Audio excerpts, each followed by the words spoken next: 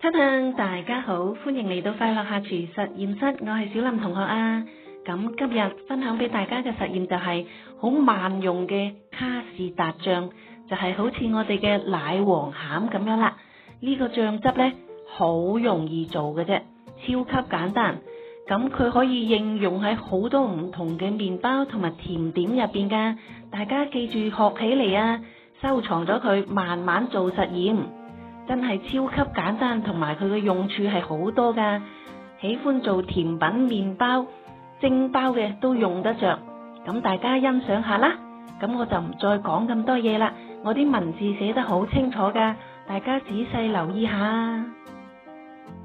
咁喺呢度有温馨提示下大家，喺煮嗰度，大家可以自我控制嗰個濃稠度嘅。中意軟滑啲就煮到我呢、這個。狀態就 OK，如果中意結身啲，你就煮到佢濃稠啲。